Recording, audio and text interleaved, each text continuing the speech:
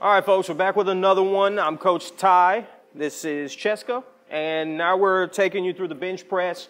We did a simplified video for the bench press, but now we're going to go into a whole lot more detail and get a lot more specific. So with the bench press, I would argue most of the work gets done before you've unracked the weight, before it's time to even begin the set. The setup is extremely important on a bench press and can make or break how much weight and how many reps you get while performing the movement. So I'm gonna have Cheska go ahead and take position and just lay back on the bench and then we're gonna work through the setup from toes all the way up to hands. So with your feet, you've got a few options. You can be flat-footed or some people like to pull this leg all the way back and just be on their toes. Neither one of those is incorrect. You could do it whichever way. The one thing I would encourage you to do regardless is try to push your toes through the front of your shoes. Should generate a little tension through your quads, You're basically performing a leg extension. Um, when you do that, you generate a little more tension through your body. The more tension you can generate through the body, the more weight you're gonna be able to lift. So that's the lower body.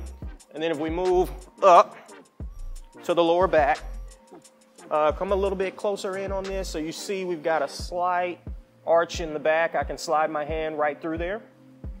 We want a slight arch in the spine, but we don't want to overarch the spine. But imagine you're trying to point your ribs up toward the ceiling. That'll give you all the arch in your back that you need. And the other thing about arching your back is it makes it much easier for you to pull your shoulder blades back. You want to pull your shoulder blades back and dig your shoulder blades into the bench. That will pull your shoulder joint back, give you a little more room in that joint, and will keep your shoulders in a safer, stronger position while performing the movement. Okay, so that's lower body, that's the torso. Now we're on to the arms. So your grip should be roughly one and a half times your shoulder width. If you're not exactly sure what that is, your shoulder width is both arms straight out in front of you and just move out a few inches. That's roughly the grip you want to take. Um, you also want to make sure that the bar is here on your hands. So let me show you what that looks like. So instead of grabbing up here, because that's going to flex your wrists all the way back, get the bar set very deeply into the palm of your hand. So you almost want to make a throw up the rock, right? Side, like so.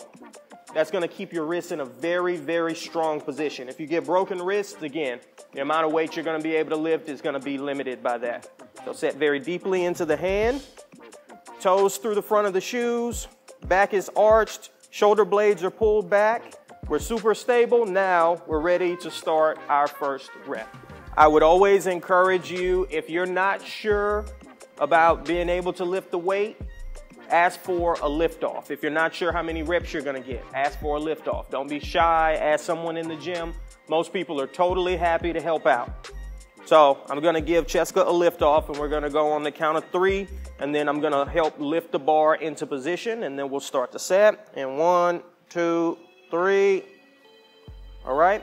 So now we're gonna initiate our first rep. So as you're bringing the bar down towards your sternum, you want the bar to land about there. Yep and then press back up.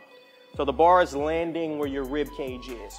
We don't want to be any higher than nipple level because then our elbows are going to be a little too flared out and we're not getting the triceps involved enough to, again, lift the maximum amount of weight.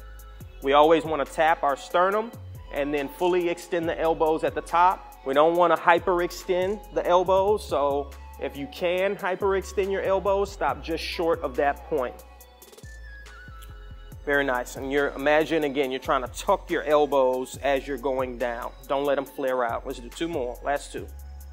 We have these comically large five pound plates. They're great for filming videos and done.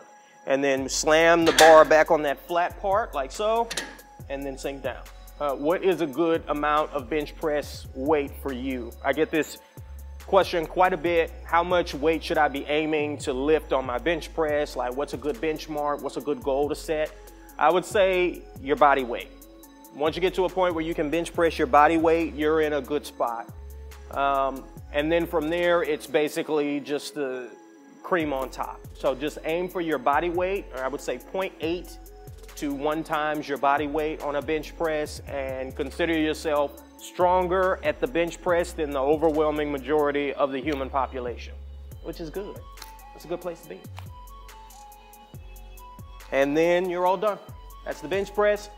Thank you guys for listening as always. Thank you again, Cheska, for helping us out. And we'll see you at the next one. Deuces.